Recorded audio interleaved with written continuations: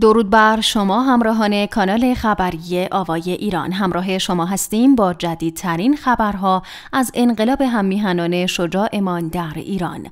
بر اساس ویدیوهای منتشر شده در رسانه های اجتماعی در هفتمین هفته از خیزش انقلابی ایرانیان علیه جمهوری اسلامی انقلاب مردم ایران با برپا شدن تجمعهای اعتراضی در شهرهای مختلف با قدرت ادامه دارد. همچنین از دیگر تحولات 24 ساعته گذشته در ایران می‌توان به آشفتگی بازار ارزهای خارجی از جمله افزایش چشمگیر قیمت دلار در بازار اشاره کرد. نرخ دلار در روز شنبه 14 آبان ماه با رشد بالایی نسبت به روز گذشته تا 36023 تومان اوج گرفت. همزمان با افزایش و تداوم اعتراضات سراسری ایران از سهشنبه هفته گذشته شتاب رشد نرخ دلار نسبت به ریال به سرعت افزایش یافته و ارزش پول ملی ایران به صورت ساعتی در حال سقوط است. تحلیلگران این آشفتگی را از نشانه های نزدیک شدن به سقوط جمهوری اسلامی می دانند. اما در بسته خبری امشب از شکاف عمیق در نهادهای امنیتی رژیم خواهیم گفت و پیام ویدیویی افسر اطلاعاتی خطاب به خامنه ای و ویدیویی از آخوند حمید رسایی چهره شناخته شده جبهه پایداری و از اعضای شورای امنیت ملی را خواهیم دید که در آن شمخانی دبیر شورای عالی امنیت ملی را مورد سرزنش قرار می دهد و در انتها هم خبری داریم از تصمیم نتانیاهو رئیس جمهور تازه اسرائیل برای نابودی تأسیسات اتمی ایران دعوت می کنیم تا انتهای این بسته خبری حتما بیننده ما باشید. با لایک کردن و به اشتراک گذاری این ویدیو به همرسانی بیشتر این اخبار کمک کنید و از تلاش شبانه روزی تیم خبری آوای ایران حمایت کنید. لطفا پیش از هر چیزی با لایک کردن این ویدیو به بیشتر دیده شدن این اخبار کمک کنید. با سپاس از همراهی شما.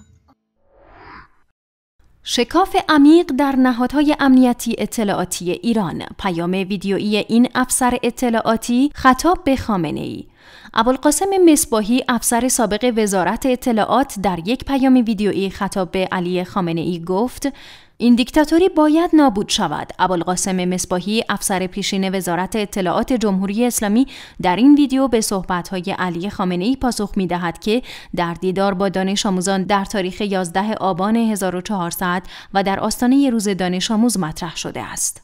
مردم قهرمان ایران امروز علی خامنه ای در یک سخنرانی سراسر نیرنگ ترکیبی مطالبی را گفت که مجبورم به آنها اشاره کنم. اول کودتا. کودتای به ظاهر آمریکایی در ایران به دست خود شما آخوندها به ثمر رسید. یادتان رفته است که آیت الله کاشانیتان 250 هزار تومان نقد از CIA دریافت کرد تا با کودتا همراهی کند. حکومت مصدق را شما به شکست کشاندید نه آمریکا. اختلاف شما با آمریکا بر سر دموکراسی و آزادی های اجتماعی است و ترس شما از اینکه در یک جامعه دموکراتیک امثال شما طرفداران فقه جواهری باید به زبالدان تاریخ بروند همان گونه که فقه جواهری رفته است.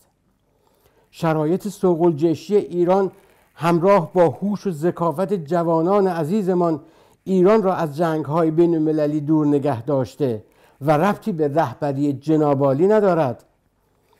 خروش جوانان آزاده ما بعد از پرواز ملکوتی محسای عزیز برای رسیدن به یک حکومت عدالت پیشه و آزادی خواه است که در مخیله شما آخوندهای مرتجع هم نمی گنجد و اطمینان داریم جوانان آزاده ما این راه را تا آخر میپیمایند هیچ خطری در دنیا به اندازه خطر قدرت گرفتن دیکتاتورها علل خصوص دیکتاتورهای مذهبی وجود ندارد و باید این دیکتاتوری نابود شود. به همین دلیل است که جامعه جهانی عدالتخواه و آزادی طلب دست به دست یکدیگر در این مسیر دادهاند و حرکت کرده که این نه تنها مضموم نیست که خود عملی است شایسته برای حمایت از دموکراسی و صلح جهانی. از سوی دیگر خبرهایی از درون دستگاه های اطلاعاتی امنیتی به بیرون مخابره می شود که نشان از فروپاشی قریب الوقوع رژیم دارد. در ادامه اعتراف مقام های جمهوری اسلامی به ناکارآمدی سرکوب ها و ادامه خیزش انقلابی مردم حمید رسایی از چهره های تندروی جریان اصولگرا خواهان برکناری علی شمخانی از دبیری شورای عالی امنیت ملی برای مدیریت بهتر سرکوب اعتراضات شد. محمد رضا با هنر هم اتحاد اتحاد نهادهای امنیتی را خواستار شد. بر اساس یک فایل صوتی که در آن صدای حمید رسایی نماینده سابق مجلس شنیده می شود او برای مدیریت بهتر سرکوب اعتراضات خواستار برکناری علی شمخانی دبیر شورای عالی امنیت ملی شده است. به گفته رسایی مقامات همه نهادهای دخیل در سرکوب که او با آنها صحبت کرده دلیل ناکامی در سرکوب خیزش انقلاب ایرانیان علیه جمهوری اسلامی را عمل کرده علی شمخانی می‌دانند و آدرس دبیر شورای عالی امنیت ملی را می دهند. او گفت که عالی ترین سمت بعد از رئیس شورای عالی امنیت ملی یعنی ابراهیم رئیسی دبیر این شوراست و اعلام کرد که دبیرخانه شورای عالی امنیت ملی در مدیریت سرکوب اعتراضات ناکارآمد بوده است. رسایی گفت علی شمخانی دبیر مورد اعتماد حسن روحانی و از مسببین وضعیت موجود و در کنار حسن روحانی باید پاسخگو باشد او همچنین گفت که شمخانی ناکارآمدیش را در آبان 98 و برخورد با اعتراضات آن سال نشان داده و به دلیل هواشی اقتصادی باید پاسخگو باشد. این نماینده سابق مجلس ادعا کرده که بعد از سخنان حسین سلامی فرمانده کل سپاه پاسداران انقلاب اسلامی که در مراسم بزرگداشت کشته شدگان حمله به شاه چراغ شیراز گفت از فردا دیگر کسی به خیابان ها نیاید اعتراضات باید تمام می‌شد. به گفته رسایی فرمانده کل سپاه پاسداران اجازه حضور مقامات اداری و امام جمعه شیراز را در جایگاه مراسم نداد و همه نیروهای نظامی را به صف کرد. پیش از این نیز برخی تحلیلگران دلیل و هدف ایستادن فرماندهان نظامی در جایگاه این مراسم و حاضر نبودن مقامات دیگر را تلاش برای ارعاب مردم ذکر کردند. با این حال بعد از این نمایش و تهدید سلامی مبنی بر اینکه دیگر به خیابان نیایید تجمعات اعتراضی مردم در قالب خیزش انقلابی همچنان ادامه دارد. آقا من به عنوان کسی که بین مردمم با اونا ارتباط دارم نه محافظ دارم که در ماشین برام باز کنه نه کسی که بره برام خرید بکنه. کارمون خودم انجام میدم. ارتباط مستقیم با مردم دارم. هر روزم هر کجا دعوت می‌کنم بر اساس رسالت جهاد تبیین تو جمع مردم حاضر میشم. تو این فتنه اخیر و آشوبهای اخیرم آفیت طلبی نکردم. تو میدون بودم می‌خوام بگم آقای رئیسی به عنوان رئیس شورای عالی امنیت ملی مردم از شما گلایه دارن. مردمی که برای انقلاب هزینه دادن بازم هزینه میدن. مردمی که زیر فشار سنگین این مشکلات اقتصادی دلشون به وجود امنیت تو این کشور خوش بود از شما گلایه دارن. برای مردم واقعا سوال آقا چرا نهادهای امنیتی و غذایی تو برخورد با این آشوبگرای داعش صفت انقدر دست دست می‌کنن؟ سوال براشون چرا اجازه میدین یه عده داعش صفت؟ اینطور بیفتن به جون امنیت کشور و نهادهایی که انگار تماشاچی.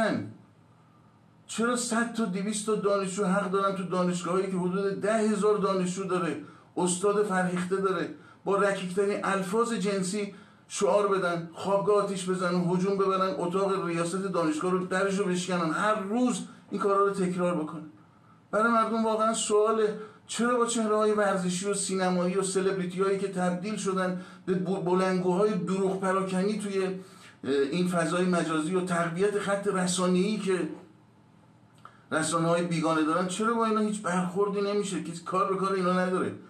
برای مردم سوال آقا قوه قضاییه چرا اینقدر منفعله؟ دست دست دست می‌کنه همش دست به اساس. چرا هر روز باید شاهد حمله به نیروهای مظلوم ناجا باشیم حمله به بچه های بسیج باشیم. هی هر روز شهید بدیم شهید بدیم هر روز خبر شهادت اینا رو بشنویم. اگر هم تو حادثه شاه چراغ شیراز قابل اغماز بود دیگه بعد از اون قابل اغماز نیست. دیگه بعد از اون بعد از اینکه سردار سلامی رفت اون بالا تمام فرماندهان نظامی رو اون بالا به صف کرد.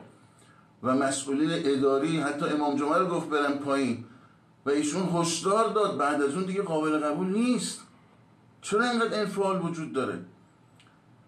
من به عنوان کسی که بررسی کردم رفتم نشستم با این مسئول با اون مسئول صحبت کردم تو این ایام. مسئولین بسیاری از این نهادها همشون آدرس یه جا رو میدن. دبیرخونه شورای عالی امنیت ملی. خب آقای رئیسی بعد از ریاست شورای عالی امنیت ملی که حضرت عالی هستید مهمترین جایگاه کلیدی ترین جایگاه تاثیرگذارترین جایگاه توی این نهاد دبیر شورای عالی امنیت ملیه. دبیر این شورا یعنی آقای شمخانی هشت سال مورد اعتماد حسن روحانی بود. آقای شمخانی از جمله مسببین وضع موجوده. در کنار اون آقای روحانی باید پاسخگوی فرصت هایی باشن که اینا با بی تدبیری یا تدبیر خاص خودشون با اعتماد نابجای خودشون به بعضی ها استفاده از مدیران مسئله دار و فاسد اینا فرصت ها رو سوزوندن. آقای شمخانی ناکارآمدی خودش رو توی قائله بنزین سال 98 و اونجور اون برخوردی که با اون اختشاشات اون سال داشتن نشون داده. آقای شمخانی به دلیل حواشی پرسرصدایی که درباره عملکرد اقتصادی اطرافیان و منصوبانش مطرحه باید پاسخگو باشه. برای همه ثابت شده که آقا دبیرخانی شورای عالی, عالی امنیت ملی در برخورد با کسانی که تو این چهل روز جان و مال و ناموس و معیشت و کسب و کار و امنیت مردم رو اینا گرگان گرفتن و دست دراز کردن به اون سمت و دارن تجاوز می‌کنن به این حوزه ها دبیرخانه ناکار آمده والا این صحبت هایی که ریاست دانشگاه تبریز ازش تو فضای مجازی منتشر شد که هشدار داد به اون چند ده نفر دانشجویی که توی دانشگاه تبریز اختشاش می‌کردن گفت از اینجا به بعد با من طرفین.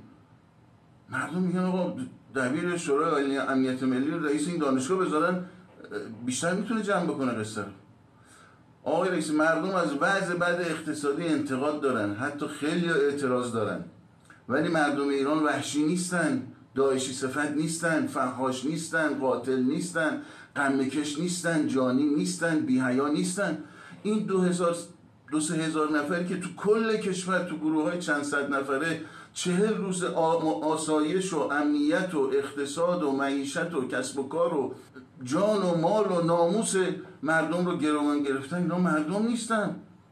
بابا دبیرخانه شورای عالی امنیت ملی و شخص های شمخانی در برخورد با این داعشی ها داره تعلل می‌کنه. آقای شمخانی واقعا ناکارآمده در برخورد با اینا. دیگه به اینجای مردم رسیده.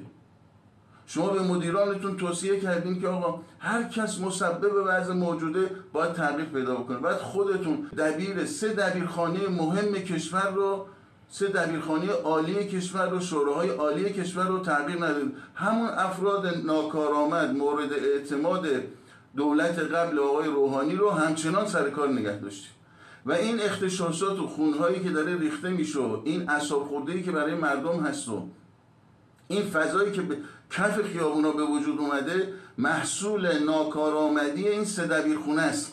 دبیرخانه شورای عالی امنیت ملی دبیرخانه شورای عالی انقلاب فرهنگی دبیرخانه شورای عالی فضای مجازی. چه بلنگاری تو فضای مجازی؟ چه وضعیتی که ما تو برخورد با برخی معضلات فرهنگی داشتیم. و چه تو مسائل امنیتی؟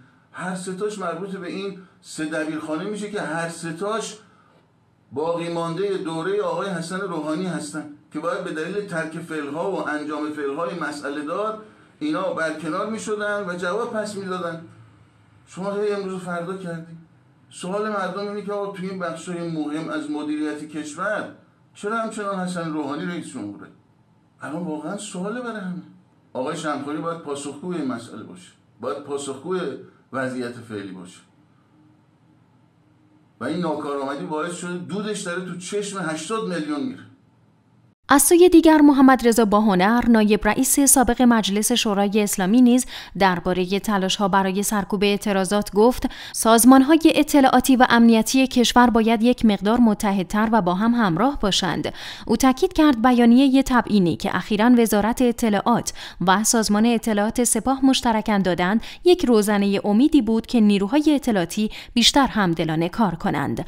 تحلیلگران بسیاری این اختلافات را نشانه های بارز سقوط جمهوری اسلامی می‌دانند و معتقدند هر رژیمی که در مسیر سقوط قرار می‌گیرد ناگزیر این مراحل را برای یک دست کردن نیروها طی می کند و بالا گرفتن جدال و بحث ها برای برکناری افرادی چون شمخانی هم بخشی از این مسیر است و در روزهای آتی این قلع و ها ادامه مییابد و باید منتظر خبرهای بیشتری مشابه این ازل و نصب ها باشیم و این امر نشانه این است که انقلاب مردم ایران در مسیر درستی به پیش می رود. نتانیاهو تأسیسات اتمی رژیم حاکم بر ایران را نابود خواهد کرد.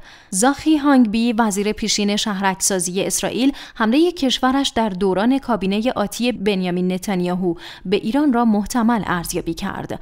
هانگبی در مصاحبه با کانال دوازده اسرائیل گفت مذاکرات متوقف شده میان ایران و قدرت‌های بزرگ را به فراموشی سپردیم. اگر این مذاکرات به توافق نینجامد و آمریکا به شکل مستقل دست به اقدام نزند، نتانیاهو برای انهدام تأسیسات هسته‌ای ایران اقدام خواهد کرد زیرا در غیر این صورت اسرائیل با تهدیدی علیه موجودیت خود روبرو خواهد شد.